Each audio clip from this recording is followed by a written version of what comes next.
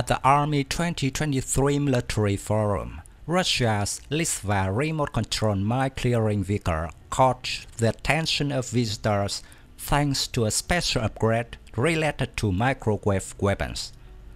Listva will be fitted with a more powerful microwave gun to more effectively deal with mortar mines with semiconductor electronics, according to an announcement on August 17 by Ruselectronics, a subsidiary of Rostec.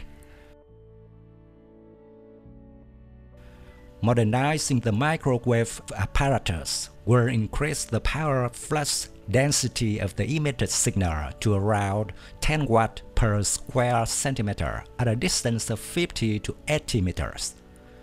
This will increase the probability of critically damaging and knocking out both previously used improvised explosive and modern IEDs containing semiconductor electronic elements, the press office said.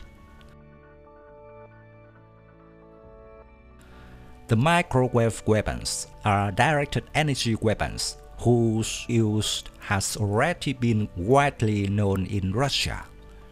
In a sense, microwave directed energy weapons focus electromagnetic radiation onto a target by converting power from a power source, such as the engine of the military vehicle, into radiated energy. This new microwave gun won't be particularly effective against mines with semiconductor components. There were reports that Ukraine was deploying rockets with scatterable anti-tank mines against Russian formations, including a magnetic influence fuse.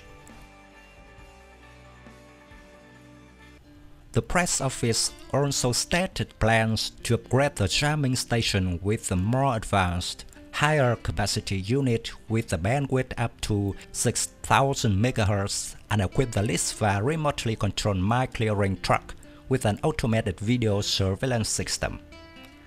This development comes when IEDs and mines have become a problem for both sides, as they strive to slow down and buy time to squash an enemy's advance.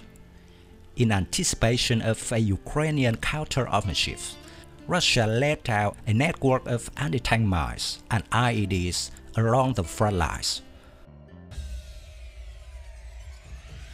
The Listva mine clearance vehicle uses an induction wide-span shot module to fire explosive and mines. Electromagnetic radiation is used to disable explosives and mines that have electronic components.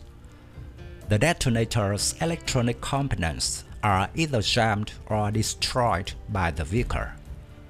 The Listva is outfitted with tools to look for a metal containing explosive at a distance of 100 meters and a speed of 15 kilometers per hour.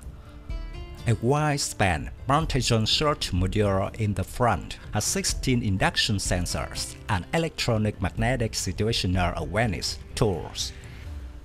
Mines can be manually located if necessary.